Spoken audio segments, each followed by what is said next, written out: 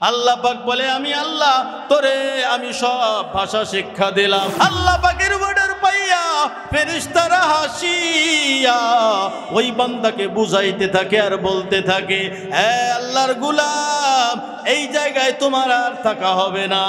এর বান্দা তোর কিছুই ছিল না। না, আমি আল্লাহ তোরে সব শিখাইলাম। এর বান্দা তোরে ছোট থেকে আস্তে আস্তে লালন পালন করে তোর মায়ের মাধ্যমে আমি আল্লাহ কুদরতি ভাবে তোরে বড় করতে থাকলাম। বলে, এই জায়গার থেকে আরও বড় একটা জায়গা আছে। বলে, ওই জায়গাটার নাম হলো দুনিয়া। ওই দুনিয়ার জমিনে তোমার যাইতে হবে। বলে, এখানে তোমার সংকীর্ণ জায়গা। এখানে তুমি হাঁটতে পারো না, চলতে পারো না, খেলাধুলাও করতে পারো না। এরে বান্দা, এখন তুই যুবক হয়ে গেছো, এখন তোর শরীরে শক্তি হয়ে গেছে। এরে বান্দা, তোর ঘাড়টা মোটা হয়ে গেছে। এখন তুই নবী চেনো না, আল্লাহ চেনো না, কোরআন চেনো না, ইসলাম চেনো না। এরে বান্দা, এমন একটা দিন আসবে, ওই আজরাইল সালামের ধাক্কা লাগবে। বান্দা, তুই জমিনে পড়ে যাবি, আর ওঠার শক্তি থাকবে না। বলে, দুনিয়ায় যে জমিনে তুমি যাইবা, ওই দুনিয়ায় বড় বড় মাঠ আছে রে বাবা। ওই দুনিয়ার ভিতরে বড় বড় বাগান আছে।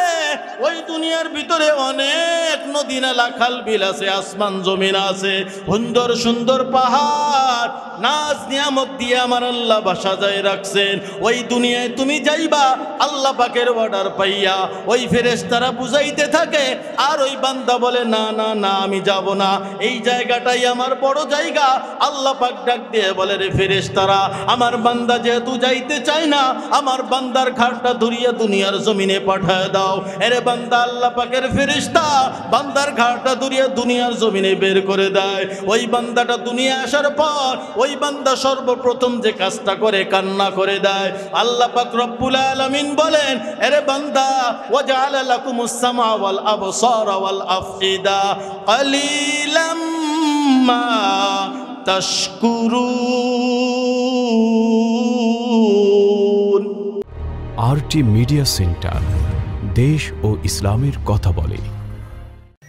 ইসলামের চতুর্থ খলিফা হজরত আলী কার্রমাল্লাহু ওয়াজহা রাদিয়াল্লাহু আনহু বলেন, যে বান্দা অতি দুর্বল, কত দুর্বল? আল্লাহ রব্বুল আলমিন পবিত্র কোরআনে হাকিমে ঘোষণা দিয়ে বলেন ওয়াখুলিকাল ইনসানু দাইফা আল্লাহ রব্বুল আলমিন বলেন যে আমি আমার বান্দাদেরকে অতি দুর্বল করে সৃষ্টি করেছি।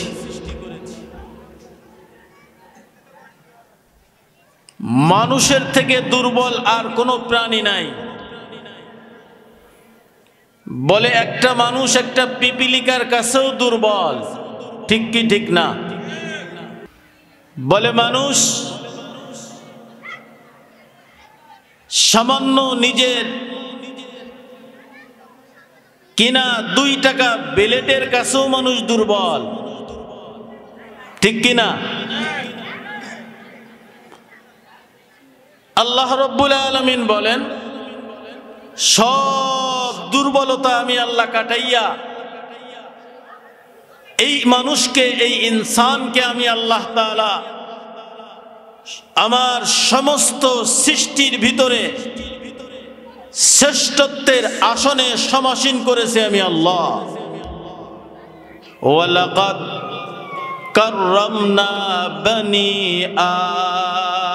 আদম। আল্লাহ রব্বুল আলামিন বলেন হ্যাঁ দুনিয়ার মানুষ, আমি আল্লাহর সৃষ্টির ভিতরেও যদিও তুমি দুর্বল,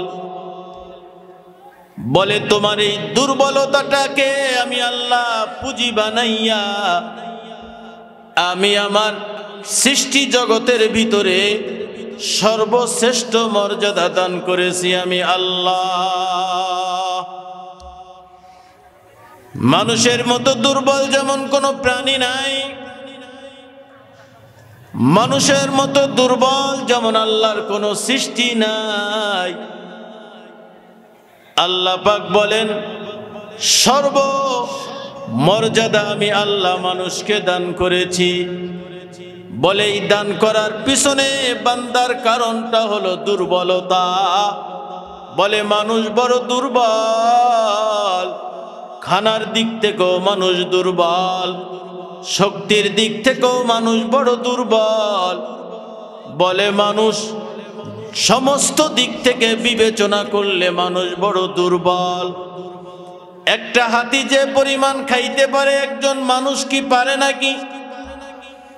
জংলার বড় বড় বাঘ, সিংহ। বলে দৈনিক তাদের খানার তালিকা হলো আঠারো থেকে বিশ কেজি, একুশ কেজি গোস্ত, মাংস খায়। বলে একজন মানুষ সর্বোচ্চ এক থেকে দুই কেজি খাইলো, এর বেশি আর খাইতে পারবে না। এরে নবীর উম্মতের দল, খানার দিক থেকেও মানুষ দুর্বল, শক্তির দিক থেকেও মানুষ দুর্বল। আল্লাহ পাক রব্বুল আলামিন বলেন সমস্ত দুর্বলতাকে আমি আল্লাহ কাটাইয়া, আমি আল্লাহ আমার সৃষ্টির সর্বশ্রেষ্ঠ মর্যাদায় আমি বসায় দিলাম।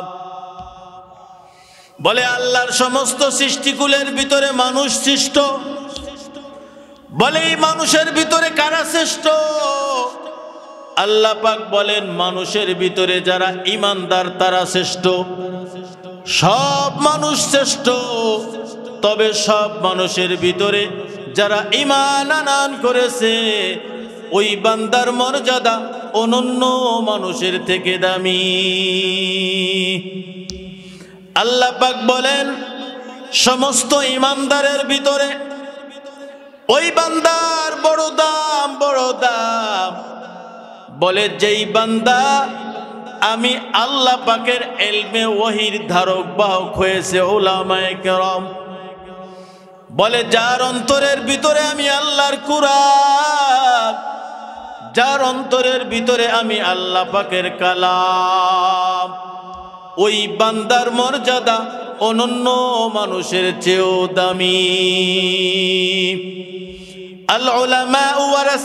আম্বিয়া ওলামায়ে কিরাম, আল্লাহর নবীর আল্লাহ পাক বলে, দুনিয়ার মানুষ বলে মানুষ দামি, মানুষের ভিতরে ইমানদার দামি। ইমানদারের ভিতরে যাদের অন্তরের ভিতরে আমি আল্লাহর কালাম আছে, তারা দামি। বলে আর কারা দামি? বলে সাহাবায়ে কেরাম বড় দামি। যারা আমার নবীকে দেখেছেন, সাহাবিয়তের সার্টিফিকেট দুনিয়ায় পেয়েছেন। বলে দুনিয়ার সমস্ত মানুষ থেকে, সমস্ত ইমানদার থেকে সমস্ত ওলামায়ে কিরামদের থেকে আল্লাহর নবীর একজন সাহাবীর মর্যাদা আল্লাহর কাছে অনেক বেশি বলে কেমন বেশি কেমন বেশি জানবেন কি জানবেন না আল্লাহর নবীর সাহাবীর এত দাম এত দাম قال النبي صلى الله عليه وسلم أصحابي كالنجوم বিআইকুম আল্লাহর নবী বলেন, আমার প্রত্যেকটা সাবি আকাশের নক্ষত্রের মতো সুবহানাল্লাহ।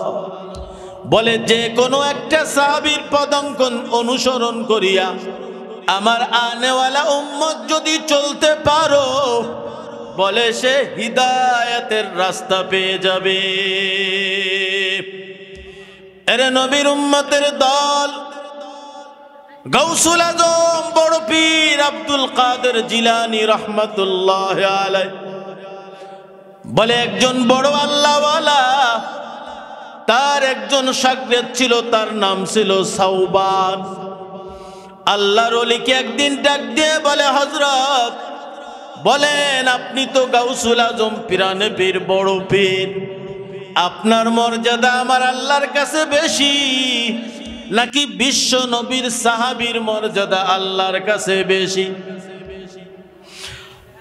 বড় পীর আব্দুল কাদের জিলানি রহমাতুল্লাহ আলাই ডাক দিয়ে বলে, রে সৌবান আমি তো তোমাকে বিচক্ষণ মনে করেছিলাম। আমি তো তোমাকে বুদ্ধিমান মনে করেছিলাম। কিন্তু এখন তো আমি দেখতেছি তুমি বড় নির্বোধ। কার সাথে তুমি কি মিলাইলা? কোথায় আল্লাহর নবীর সাহাবি? আর কোথায় আমি আব্দুল কাদের জিলানি? তবে যখন তুমি জানতে চেয়েছো, শুনে নাও। বলে, আল্লাহর নবীর সাহাবিদের ভিতরে মর্যাদা তারতম্য ছিল। বলে সব থেকে বেশি মর্যাদা সাহাবীর নাম আবু বকর। আল্লাহ নবী, বিশ্ব নবী বলেন কামত পর্যন্ত আনেওয়ালা সমস্ত উম্মতের নেক আমলের পাল্লা যদি এক পাল্লায় দেওয়া হয়, আর আমার আবু বকরের নেক আমলের পাল্লা যদি আর এক পাল্লায় দেওয়া হয়, সমস্ত উম্মতের আমলের চেয়ে আবু বকরের নেক আমলের পাল্লা আল্লাহর কাছে অনেক দামি। হজরতে বড় পীর আব্দুল কাদের জিলানি রহমাতুল্লাহ আলাই ডাক দিয়ে বলে, রে সৌবান আল্লাহর নবীর সব থেকে দামি সাহাবি হজরতে আবু বকর সিদ্দিক, দুই নম্বরে হজরতে ওমর, তিন নম্বরে হজরতে ওসমান, চার নম্বরে হজরতে আলী ওয়াজহা। বড় বড় সাহাবাই কিরামদের বাদ দিলাম। বলে আল্লাহ নবীর সব থেকে নিম্ন স্তরের সাহাবি ছিলেন হজরতে ওয়াহশি রাদিয়াল্লাহু তাআলা আনহু, যিনি আল্লাহর নবী বিশ্ব নবী। রহমাতুল্লিল আলমিনের চাচা হজরতে আমির হামজাকে তিনি শহীদ করেছিলেন। এক পর্যায় আল্লাহর নবী রহমাতুল্লিল আলমিন তার সামনে যখন ওয়াসি হাজির হয়ে গেল আর ইসলাম কবুল করে নিল আল্লাহ নবী ডাক দিয়ে বলে, রে ওয়াহাসি তোমাকে দেখলে আমার প্রাণ প্রিয় চাচা হজরতে হামজার কথা মনে পড়ে যায়। এরে সাবি তুমি আমার সামনে বসবা না বসবা না বসবা না।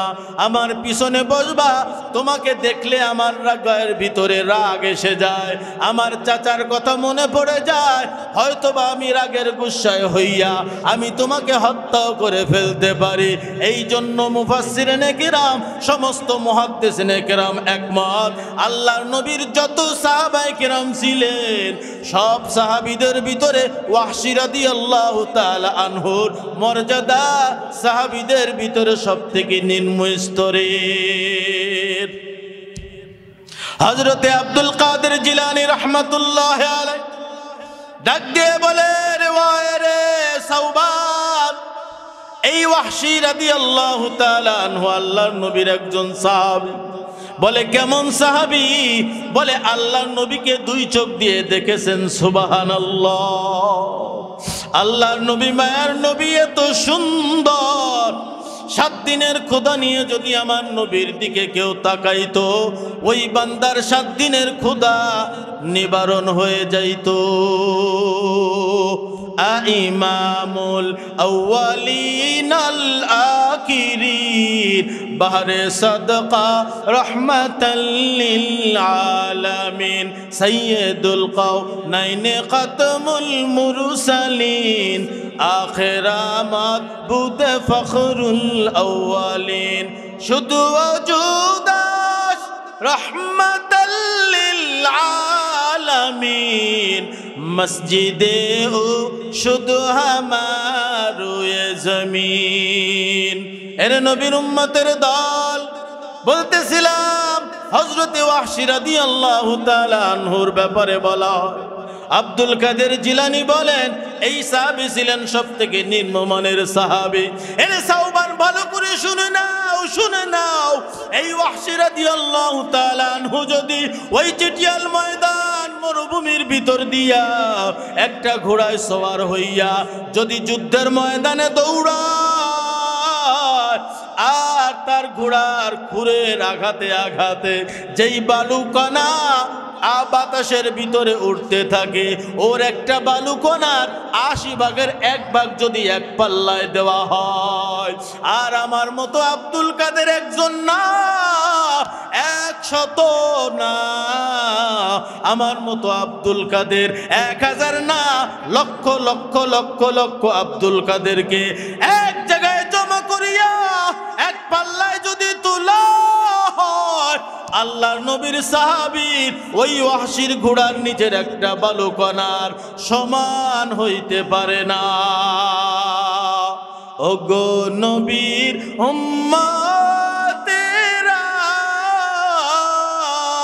হয়ে আজি দিশা হারা কোরআন, হাদিসি ছেড়ে চলো, যখন যাহা চায় মনে। নবী বিনা কে তারাবে তো মিজানে। নবী বিনা কে তারাবে তো মিজানে। চলো চলো চলো মুমিন, চলো নবীর সন্ধানে। নবী বিনা কে তারাবে পুলসিরা তো মিজানে। শুধুই নবীর ওসিলাতে আসলা মানুষ দুনিয়াতে। তিনি না হইলে আজি আস্তা কি আর ভুবনে? নবী বিনা কে তারাবে পুলসিরা তো মিজানে নবীর মায়া নাই কি তোমার? কেমন দুঃখ দাও যে আবার দুরুদ পড়ো, স্মরণ করো। প্রথম ঘাটি কাফনে। নবী বিনা কে তারাবে তো মিজানে। নবী বিনা কে তারাবে তো মিজানে। ভাইরা আমার, বলতেছিলাম আল্লাহর নবীর উপরে দুরুদ পড়লে কি লাভ? মনে আছে না নাই? قال النبي صلى الله عليه وسلم من صلى علي واحدة صلى الله عليه عشرا মদিনার নবী বলেন যেই উম্মত আমি নবীর উপরে একবার আল্লাহ পাকের অন্তর আল্লাহ পাকের দেওয়া জবান দিয়ে, বান্দা, একবার আমি নবীর প্রতি দুরুদের আমল করে দিবে। আমার আল্লাহ ওই বান্দার উপরে দশটা রহমত নাজিল করে দিবে এরে নবীর উম্মতের দল দৈনন্দিন যদি বান্দা এক শতবার আমার নবীর উপরে দুরুদের আমল করতে পারো। আমার আল্লাহ নবী বলেন, ওই বান্দার থেকে একশো মুসিবত থেকে আল্লাহ হেফাজত করবেন। কত মুসিবত? বলে, বান্দা, দুনিয়ায় পাবা তিরিশটা, আখরাতের ময়দানে পাবা সত্তরটা। দুরুদের বরকতের কারণে আমার আল্লাহ রব্বুল আলমিন তিরিশটা মুসিবত দুনিয়ার থেকে বান্দার সরাই দিবেন। আর মৃত্যুর পর থেকে নিয়ে কেয়ামতের ময়দান জান্নাতে ঢোকার আগ পর্যন্ত সত্তরটা মুসিবত থেকে, বিপদ থেকে দুরুদের বরকতে আমার আল্লাহ হেফাজত করবেন। ভাইরা আমার, দুরুদ পড়ার দরকার আছে না নাই? সময় পেলেই দুরুদের আমল করে নেব। বলতেছিলাম, মানুষ বড় দুর্বল। মানুষের মতো দুর্বল আর কোনো প্রাণী নাই। আমার আল্লাহ রব্বুল আলমিন সমস্ত দুর্বলতা কাটাইয়া মর্যাদা দিয়েছেন কে? আল্লাহ পাক বলেন, মানুষ আমার কাছে দামি, মানুষের ভিতরে ইমানদার আমার কাছে দামি। ইমানদারের ভিতরে যারা হক্কানি ওলামায় কেরাম আমার আল্লাহর কাছে দামি।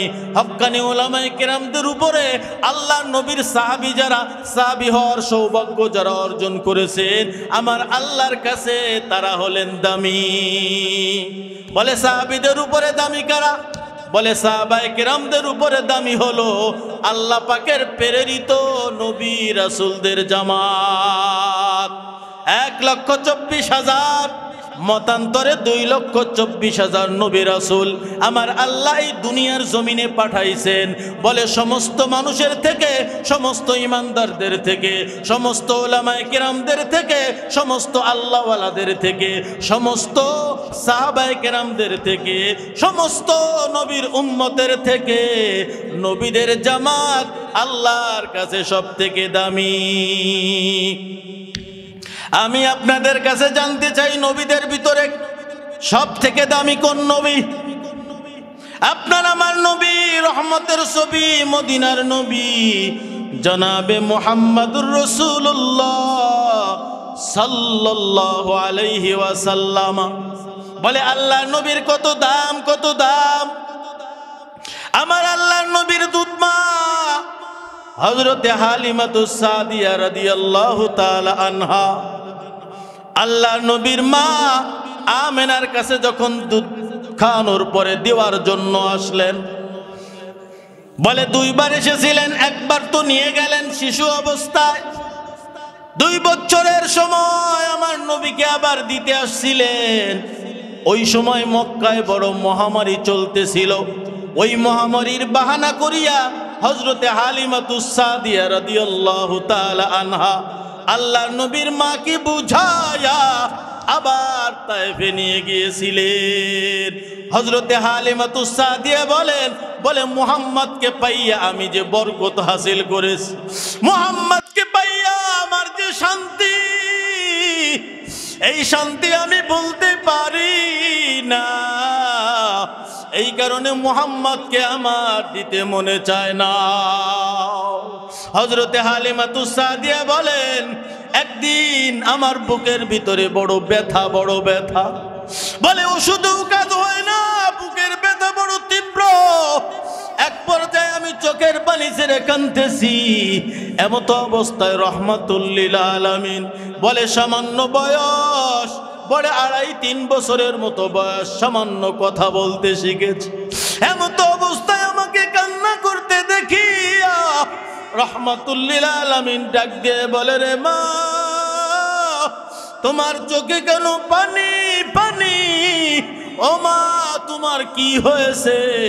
হজরতে হালিমাতুসা দিয়ে বলেন, আমি ডাক দিয়ে বললাম রে মোহাম্মদ, এই সকাল থেকে আমি হালিমার বুকের ভিতরে বড় ব্যথা, বড় বেদনা। ওষুধ খেয়েও আমার ব্যথা যাইতেছে না। আল্লাহ নবী ডাক দিয়ে বলে, রে মা, তুমি আর দেরি করিও না। আমি মোহাম্মদকে একটু বুকের সাথে বুকটা মিলে ধরো। হজরতে আলিমাতু সাদিয়া বলেন আমি শিশু মোহাম্মদের বুকটা যখন আমি হালিমার বুকের সাথে লাগাইলাম, বুকটা লাগানোর পর হঠাৎ করে দেখি আমার বুকে কোনো ব্যথা নাই। ওই যে বুকের ব্যথা গেল, মৃত্যুর আগ পর্যন্ত আমি হালিমার কোনো বুকে ব্যথা হয় না।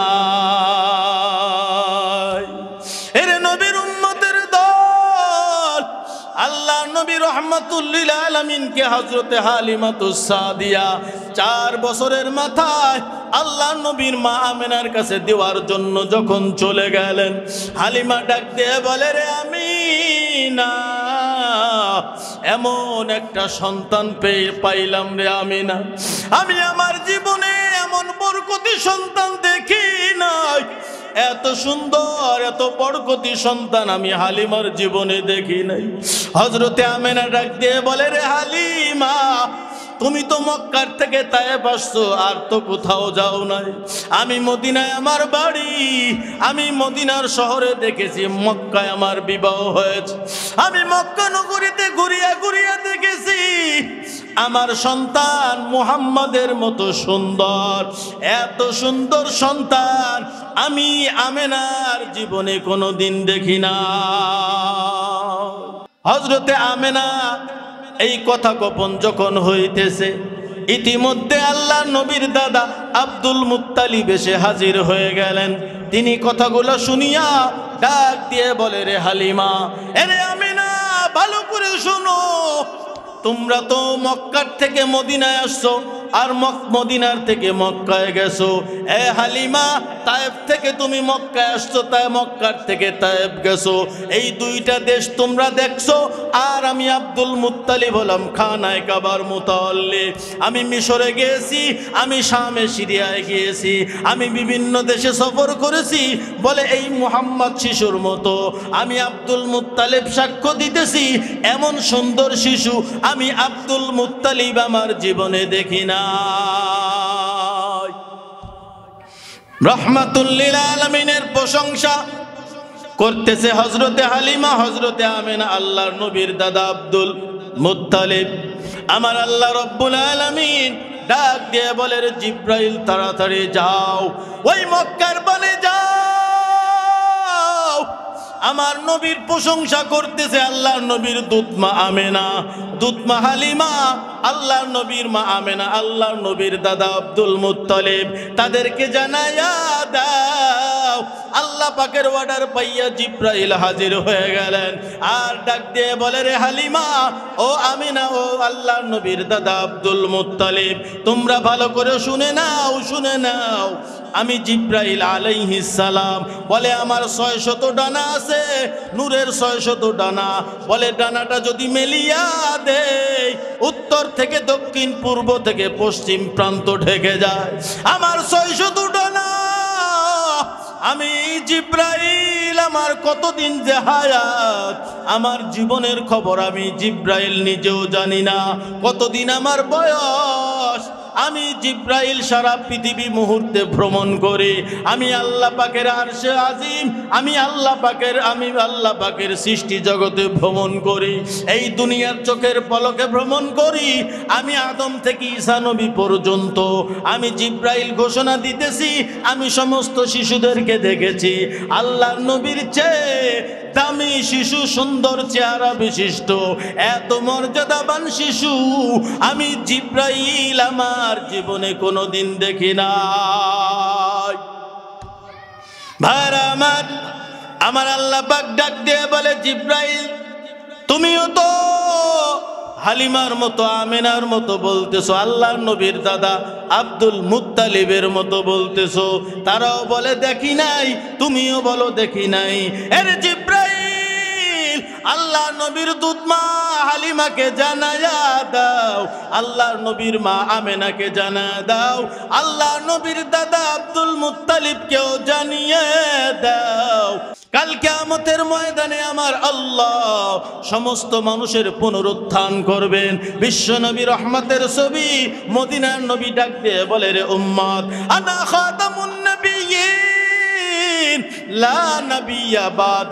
আমি হইলাম সর্বশেষ নবী, আমার পরে আর কোন নতুন নবী নাই। এরে উম্মত তোমরা হইলে সর্বশেষ উম্মত। তোমাদের মতো দামি আর কোন উম্মত নাই। বলে কেমতের ময়দানে আল্লাহ নবী বলেন, আমি বিশ্ব নবী জান্নাতের গেটে যাওয়ার আগ পর্যন্ত কোন নবী রাসুলরা পর্যন্ত জান্নাতে ঢুকতে পারবে না।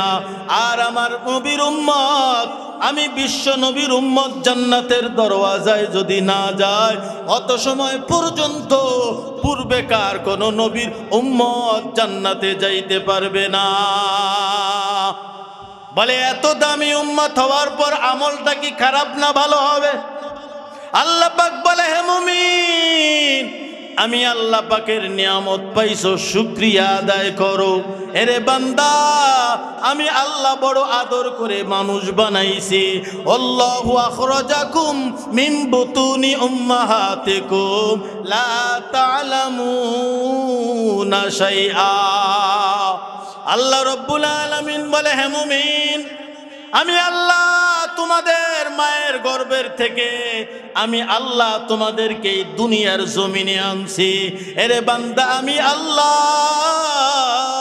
এরে বান্দা, মায়ের পেটে যখন তোমরা ছিলে, ওই সময় বলে, দুনিয়ায় তোমরা আসতে চাইছিলে না। আমার আল্লাহ এরে বান্দা, আমি আল্লাহ রব্বুল আলমিন তোমাদেরকে দুনিয়ায় পাঠাইলাম, বের করলাম। এরে বান্দা, দুনিয়ায় তুমি আসতে চাও নাই। এরে নবীর উম্মতের দল, আপনার আমার মায়ের গর্ভের থেকে দুনিয়া আসার সময় যখন হয়ে গেল, ওই সময় আল্লাহর পক্ষ থেকে আল্লাহ পাক ফেরেশতা পাঠিয়ে দিলেন, যাও, আমার বান্দাকে দুনিয়ার জমিনে পাঠিয়ে দাও। আল্লাহ পাকের বর্ডার পাইয়া ফেরেশতারা হাসিয়া ওই বান্দাকে বুঝাইতে থাকে আর বলতে থাকে হ্যাঁ আল্লাহর গুলাম, এই জায়গায় তোমার আর থাকা হবে না। বলে, এই জায়গার থেকে আরও বড় একটা জায়গা আছে। বলে ওই জায়গাটার নাম হলো দুনিয়া। ওই দুনিয়ার জমিনে তোমার যাইতে হবে। বলে এখানে তোমার সংকীর্ণ জায়গা। এখানে তুমি হাঁটতে পারো না, চলতে পারো না, খেলাধুলাও করতে পারো না। বলে দুনিয়ায় যে জমিনে তুমি যাইবা, ওই দুনিয়ায় বড় বড় মাঠ আছে রে বাবা। ওই দুনিয়ার ভিতরে বড় বড় বাগান আছে। ওই দুনিয়ার ভিতরে অনেক নদী নালা খাল বিল আছে, আসমান জমিন আছে। সুন্দর সুন্দর পাহাড়, নাচ নিয়ামত দিয়ে আমার আল্লাহ বাসা যায় রাখছেন। ওই দুনিয়ায় তুমি যাইবা, আল্লাহ পাকের অর্ডার পাইয়া ওই ফেরেশতারা বুঝাইতে থাকে, আর ওই বান্দা বলে, না না না, আমি যাব না। এই জায়গাটাই আমার বড় জায়গা। আল্লাহ পাক ডাক দিয়ে বলে, রে ফেরেশতারা, আমার বান্দা যেহেতু যাইতে চায় না, আমার বান্দার ঘাটটা ধরিয়া দুনিয়ার জমিনে পাঠায় দাও। এরে বান্দা, আল্লাহ পাকের ফেরেশতা, বান্দার ঘাটটা ধরিয়া দুনিয়ার জমিনে বের করে দেয়। ওই বান্দাটা দুনিয়া আসার পর, ওই বান্দা সর্বপ্রথম যে কাজটা করে, কান্না করে দেয়। আল্লাহ পাক রব্বুল আলামিন বলেন, এরে বান্দা, ওয়াজআলা লাকুমুস সামা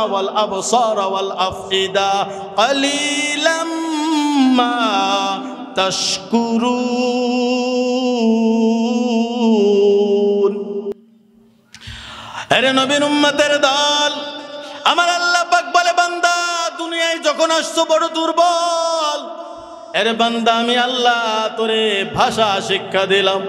বলে সর্বপ্রথম আমার আল্লাহ পাক মানুষকে যে ভাষাটা শিক্ষা দেন, ওইটা হলো কান্না। আরে বান্দা, এই কান্নার পুঁজি করিয়া সব আবদার তুমি তোমার আপনজন থেকে আদায় করে নিতে পারলাম আমি আল্লাহ যদি তোরে না শিখাইতাম, আরে বান্দা, তুই কেমনে তোর প্রয়োজন আত্মীয় স্বজন থেকে মিটাইতি? তোর মার থেকে কেমনে মিটাইতি? আমি আল্লাহ রব্বুল আলামিন তোরে কান্নার আওয়াজ দিলাম। এরে বান্দা, আল্লাহ পাক কোরআনে হাকিমে ডাক দিয়ে বলেন আর রহমান আল্লামাল কোরআন খালাকাল ইনসান আল্লামাহুল বায়ান। আল্লাহ পাক বলে, আমি আল্লাহ, তোরে আমি সব ভাষা শিক্ষা দিলাম। এরে বান্দা, তোরে কিছুই ছিল না ছিল না। আমি আল্লাহ তোরে সব শিখাইলাম। এরে বান্দা, তোরে ছোট থেকে আস্তে আস্তে লালন পালন করে তোর মায়ের মাধ্যমে আমি আল্লাহ কুদরতি ভাবে তোরে বড় করতে থাকলাম। এরে বান্দা, এখন তুই যুবক হয়ে গেছো, এখন তোর শরীরে শক্তি হয়ে গেছে। এরে বান্দা, তোর ঘাড়টা মোটা হয়ে গেছে, এখন তুই নবী চেনো না, আল্লাহ চেনো না, কোরআন চেনো না। ইসলাম চেনো না? এরে বান্দা, এমন একটা দিন আসবে।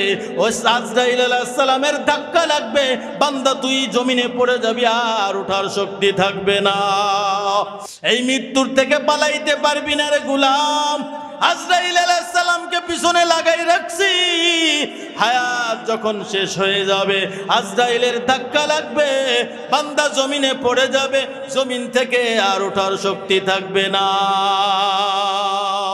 মৃত্যুর থেকে পালানো যাবে নাকি এরে নবীর উম্মতের দল, মরণ থেকে যতই পালাও, মরণ তোমায় নিবে গিরি। যদিও সুদূর আকাশ পানে লুকাও সেথায় লাগিয়ে সিঁড়ি। নদী পথে নৌকা চালাও, ও মাঝি ভাই, বেলা ডুবার আগে আমি ও পার উঠতে চাই। ডুবে গেলে বেলা রে আর ওঠে না। ভেঙে গেলে মেলা রে আর জমে না। এ দুনিয়া ছাড়িয়া কোথায় যাবি ভাগিয়া? এ দুনিয়া ছাড়িয়া কোথায় যাবি ভাগিয়া? মরণ তোমায় লইবে গিরি, যতই করো বাহানা।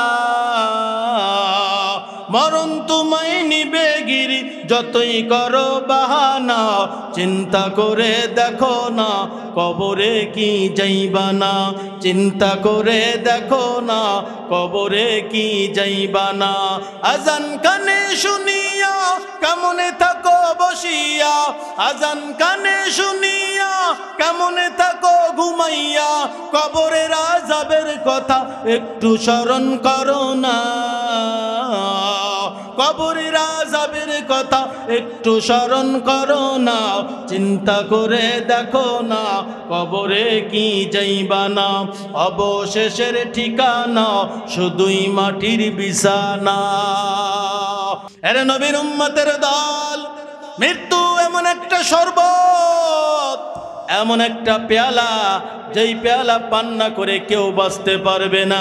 আর অন্ধকার কবর এমন একটা ঘর যেই ঘর দৈনিক বান্দাদেরকে আওয়াজ দিয়ে ডাকতে থাকে আর ওই অন্ধকার কবর।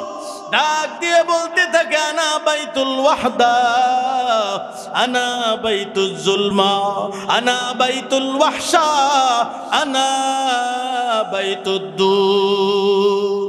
ওই অন্ধকার কবর ডাকতে থাকে, রে ভাই, আমি বড় একাকিত্বের ঘর। আমি বড় অন্ধকার ঘর, আমি সাপ বিচ্ছুর ঘর, আমি কবর অপরিচিত ঘর। এরে বান্দা, দুনিয়ার থেকে যারা আমি কবরে আসবা, দুনিয়ার থেকে সাথী নিয়ে কবরে আসিও, দুনিয়ার থেকে বাতি নিয়ে কবরে আসিও। এরে বান্দা, ইমান আমল নিয়া কবরে আসিও।